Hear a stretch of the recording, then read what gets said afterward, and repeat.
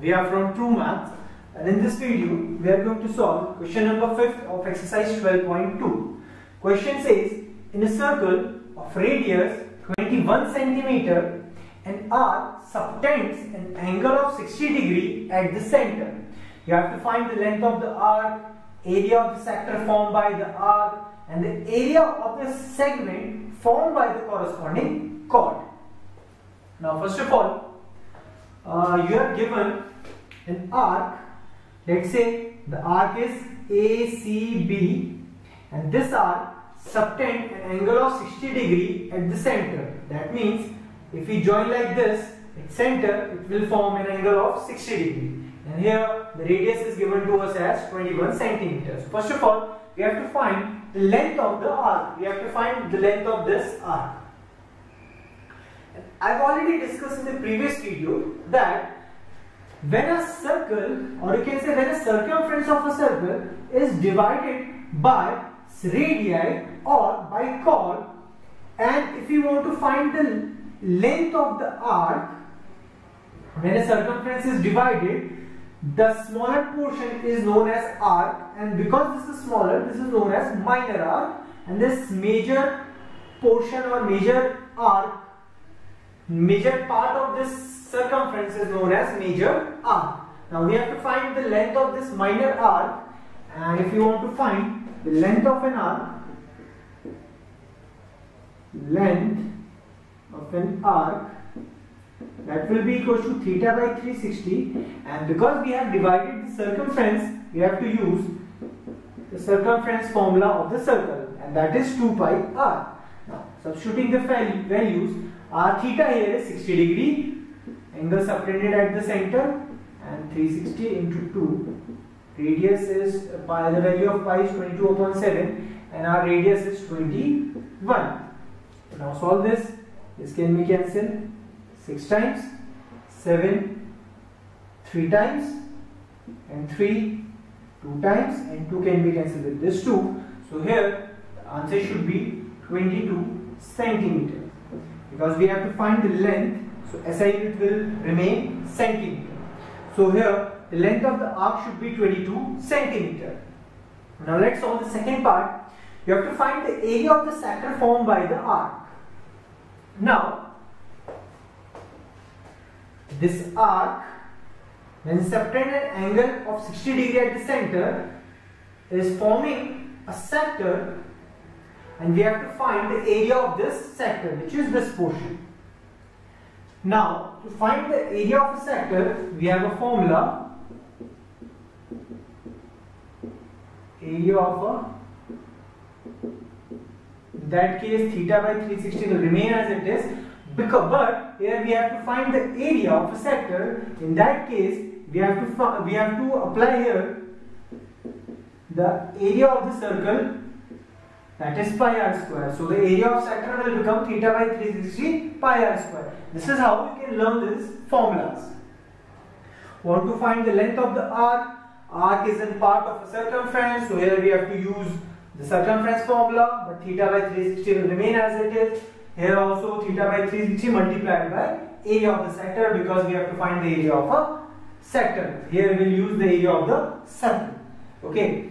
Theta is 60 degrees 360 value of pi is 22 upon 7 and radius square is 21 multiplied by 21 60 can be cancelled 6 times.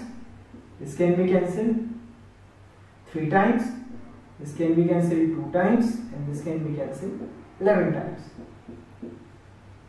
Now I have already told you if you want to multiply any number by 11 what you have to do you have to write 2 and 1 and in between you have to add these two digits. So 231 centimeter square will be the area of this sector okay now in the third part we have to find the area of the segment. Here we have to find the area of the segment formed by the corresponding chord. That means here the chord will be this. This will be the corresponding chord and we have to find the area of segment formed by this chord. So I have already discussed in the previous video when a circle is divided by a chord, it forms segments. And this is the minor segment the question is talking about. So we have to find the area of this minor segment. And I have already told you, if you want to find the area of a segment, what you have to do, you have first of all you have to find the area of the sector and from the area of the sector, I have to subtract the area of triangle. So from the complete area, if I subtracted the area of a triangle, I'll get my area of this segment. And the area of the se segment, you already know is 231. So what we have to do, we have to find the area of this triangle and subtracting this from this, we'll get our answer. Now, how to find the area of this triangle? In this triangle, this side and this side are equal. Both are, both are radiuses. That means this angle should be equal to this angle. So in triangle, so in triangle, AOB, AO is equal to OB is equal to radius. Okay. Therefore, angle A should be angle B. Okay. And because this is a property of a triangle which says that in a triangle, if two sides are equal, then the angles opposite to them are also equal. Equal angles opposite to equal sides. Now, in a triangle, the sum of all the angles is always equal to 180. This is angle sum property of a triangle.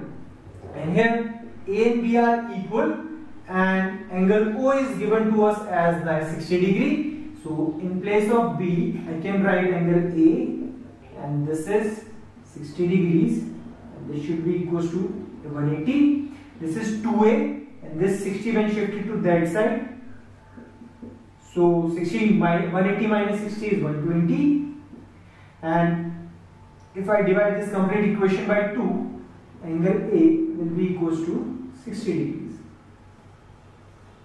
So that means angle A is equal to 60 degree this will be also equal to 60 degree because angle A is equal to angle B that means this is an equilateral triangle because an equilateral triangle has all three angles equal and the value of each angle is equal to 60 degrees. Now, how to find the area of this triangle? Let me solve this question here. Uh, if you want to uh, copy this, you can pause the video. You can you can copy this, and um, so here the remaining part I am solving here.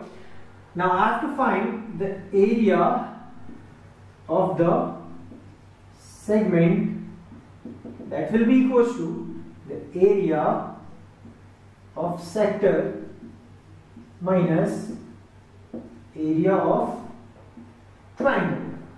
The area of sector is known to us as 231 centimeter square and minus area of a triangle because this triangle is an equilateral triangle so I apply the area the formula to find the area of an equilateral triangle that says root 3 upon 4 a square and a here is the side okay. So it should be 231 minus root 3 upon 4 and side of this equilateral triangle is given to us as 21 centimeter.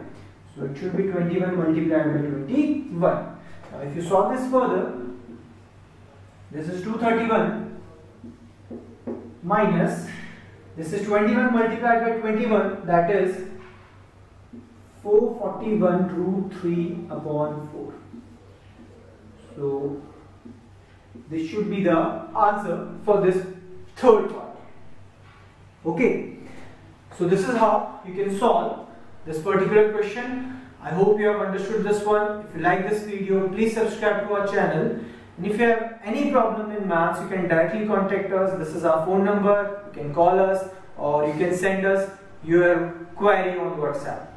Thank you.